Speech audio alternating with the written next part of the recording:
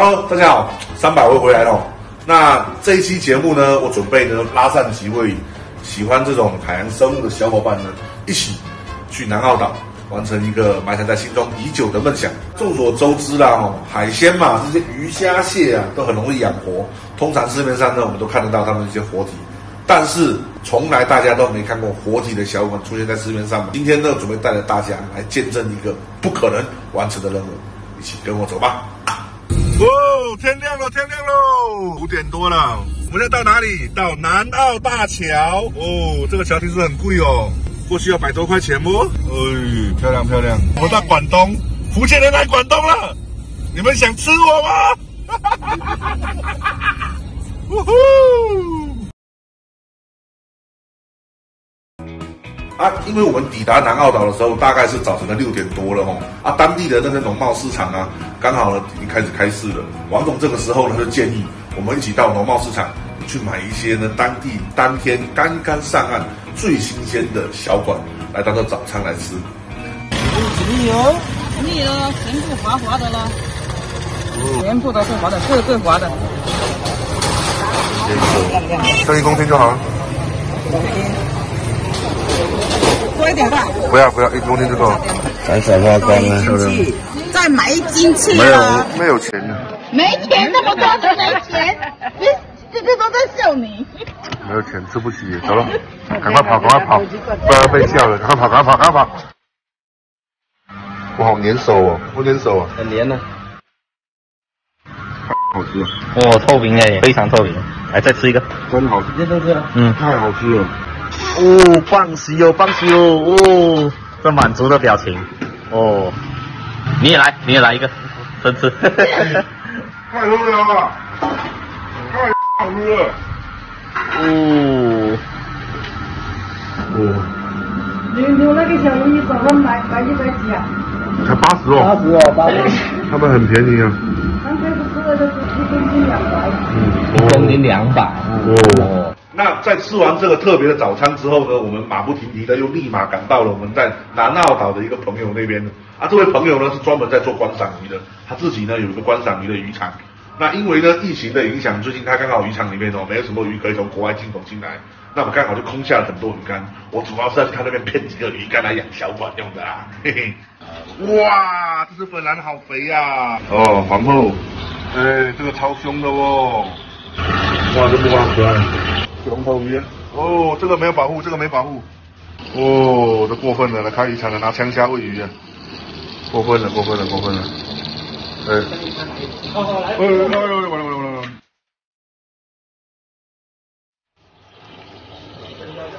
看不到，哦，中了中了中了中了，哇，牛逼啊牛逼啊牛逼啊牛逼啊，哇，这帅这个帅，帅透了。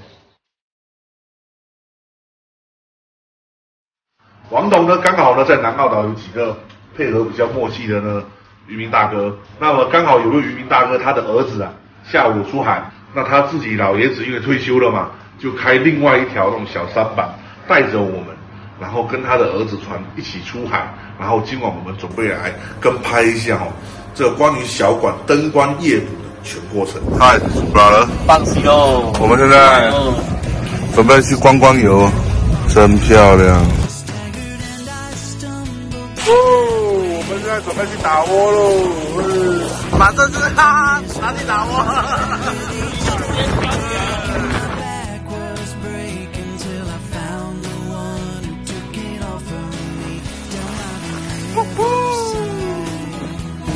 哦，开始浪哦，摇了哎，哦，这个浪哦。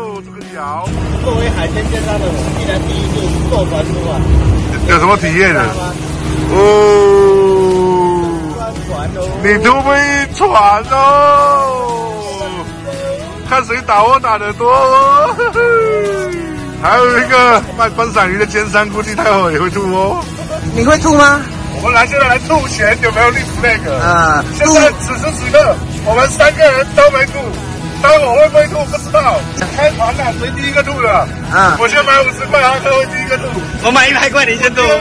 我买一百块，你先度？买我一百块钱，哎，不可能的。哇，你看这个大海超漂亮的，去征服远方的大海。啊，我们的一个小伙伴被海盗抓走了，在船上。哦，我们小伙伴很悠闲，自己在睡觉，一点不担心他的样子。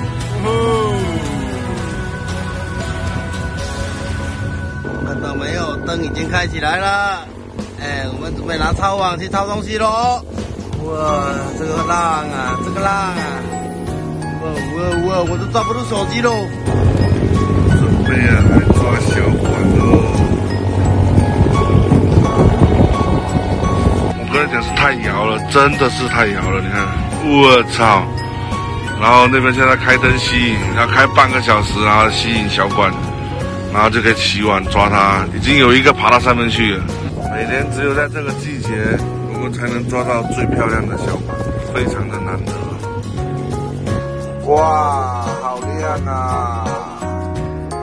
天快暗喽，海上的灯啊，一颗接一颗哦。你们吃的小管哪里来的？就这么摇出来了。哇，这个风景太美丽了！你看这个红地毯下来，我们在海里征服着海，知道吗？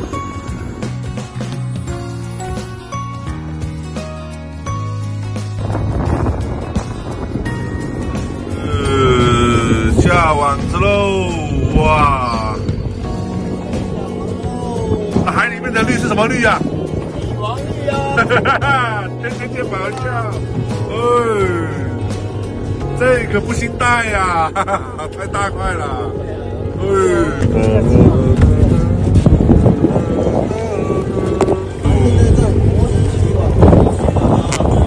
你看到大海上的灯光了吗？每一个灯光都是代表一艘船在抓鱿鱼。哦，要起网喽！哦，越来越暗了，越来越暗了。哦，帝王绿，帝王绿哦！哦，呜呼！哇，红灯亮，红灯亮了！太漂亮了！人类的智慧啊，只有在这个季节才抓得到小管哦。每一年，每一年，已经开始起网喽。准备迎接我们小馆的到来。人类的智慧，这真的是人类的智慧啊！灯光谷啊！有鱼啊，看到有鱼了，有鱼，有鱼，有鱼，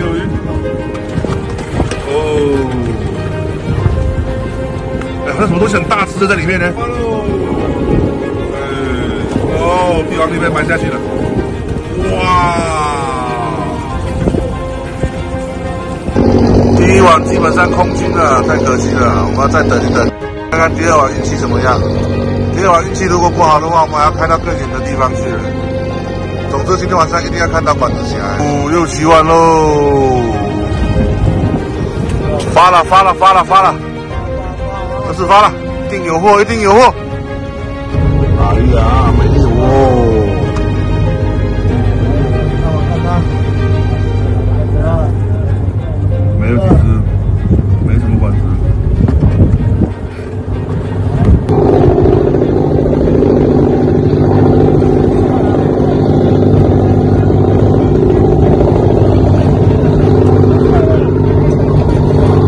这个海面上的天气啊，真的是千变万化。本来我们出海的时候，当天就风不是很好，已经是多云了，但是还没下雨。那刚好出海捕了两晚之后呢，天色就不对劲了。渔民老大哥比较有经验，就说啊、不行了，因为为什么？我们当初做的是不是那渔船出去，是那种像类似小舢板一样的，什么的防护措施都没有。万一遇到了真的下大雨的话，是非常危险的。很遗憾，他是只能带着我们的马不停蹄直接往码头赶。实际上，在登捕小馆的那个地点，离码头是有一个多的船程的，所以整个过程我们非常的狼狈，赶了一个多小时。哇，那个大浪夹沙的海水，拍的全身都湿透了，我是太惨了。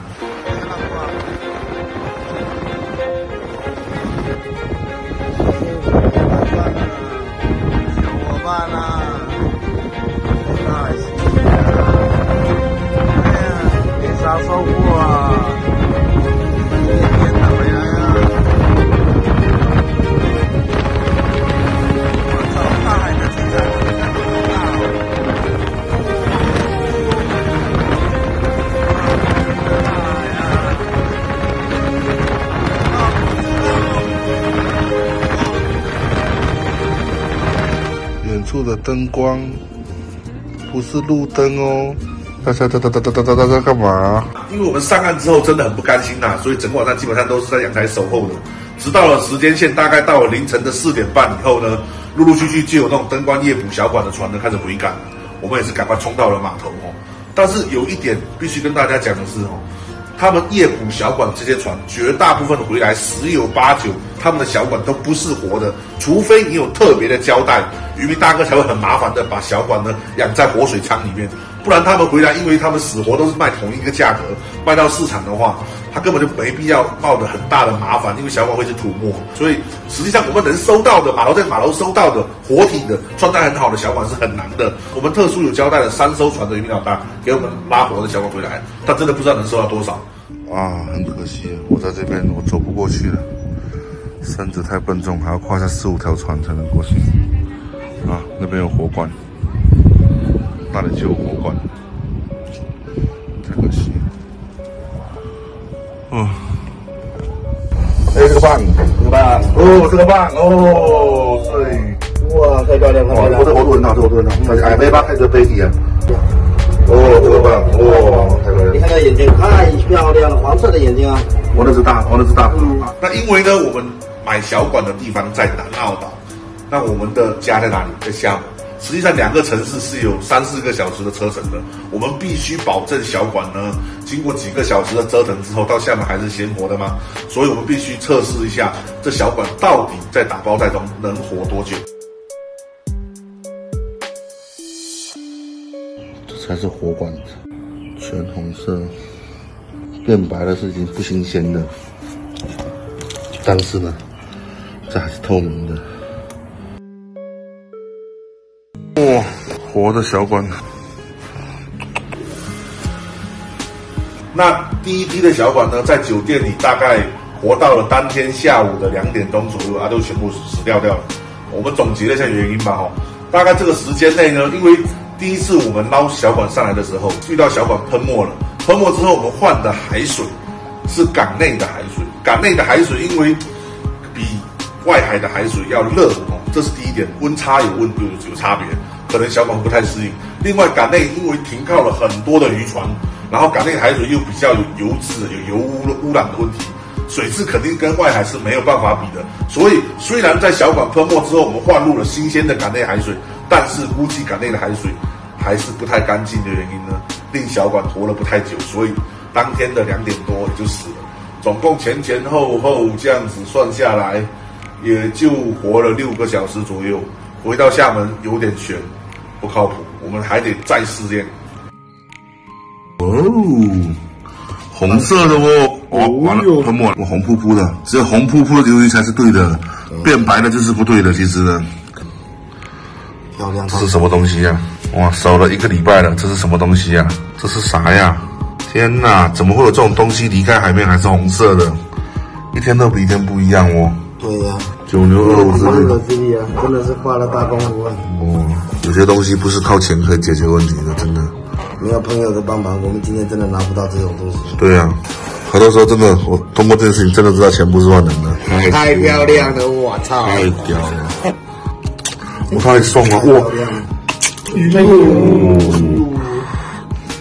那第二天呢，我们在收鱼之前，已经事先先去找我的朋友，因为朋友渔场里面他养观赏鱼的水都是他自己从深海呢牵了一条水管直接到渔场的，所以它是一定有干净的海水水源的地方。我们直接呢临时装了好几大桶哦干净的水源，然后背到了酒店，再从酒店背到了码头。当天晚上呢，给所有的小管有涂抹的小管全部换了干净的水之后呢，又带到了酒店里面继续来测试这些小管今天它能活多久。呃，第二天呢，天气有比前一天会好一点，所以我们收到了更多的一些管子，发现很多管子哦，在买回来的时候，哇，有时候突然间是透明的，亦或者是全红色的，然后就很开心的拿起手机哦开始拍摄啊，并且呢很大胆的把一袋已经打包好的小罐放出来，为了呢拍摄一下我们好奇害死猫。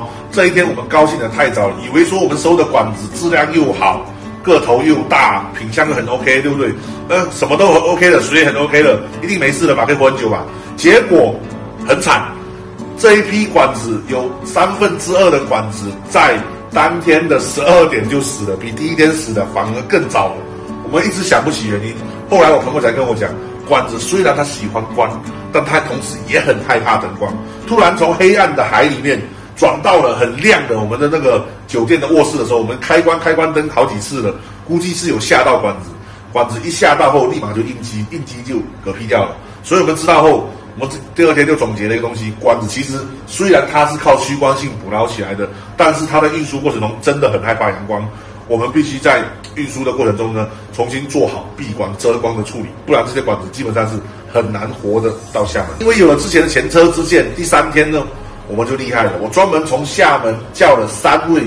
小伙伴赶到南澳岛，配合我一起在码头呢进行快速的收鱼工作。同时，我们也叫了一辆拉海鲜的水车，专门装满了一车的干净的海水到码头，直接呢把小管从渔船拉上来的第一刻就送到水车的干净海水里面，然后装满一车的小管之后，立马就赶到朋友的渔场，把小管转移到干净的缸里面。那为什么要做这个动作呢？因为我们需要把小管暂养在鱼场里面。这样呢，从海里面捞上来有受伤的、有应激的、状态不好的小管就会先折损掉，它会先死掉。我们必须保证每一只拉回厦门的小管都是所有小管捞上来以后最强壮、最生猛的，这样它才有几率活到厦门。哇，舒服。哎，舒服！哎，小心！哦，还抓了条小鱼。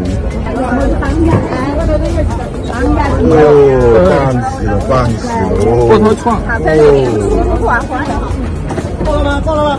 多少？够不够？这多少了？够不够？够不够？五六十条了。五六十条。哦。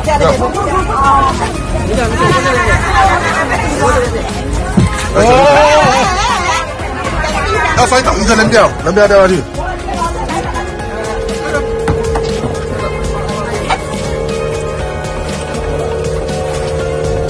第一车回家，好，好。的，真的，我们终于干成了一件一般人做不成的事情。这应该是迄今为止上国内第一次成功的把小管活的从海里面搬运上陆地。并且入到了鱼缸，所有上岸的小管状态都非常的好，活度非常的 OK，很不容易啊！我们花了太大的精力了。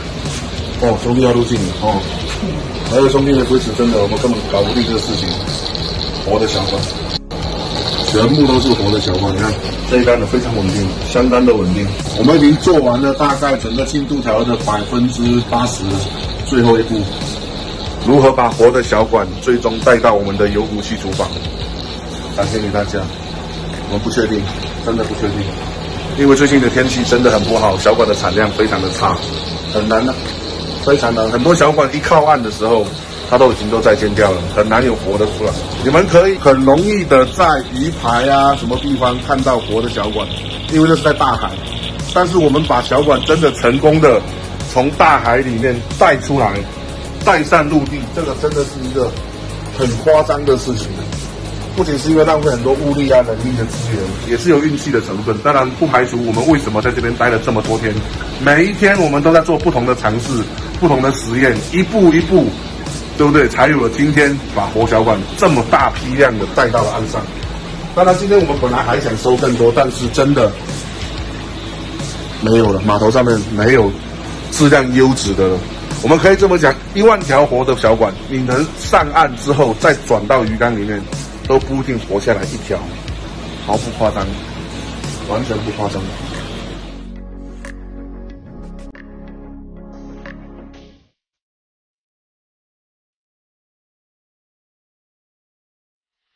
大家都见过动的小管，你们见过活的吗？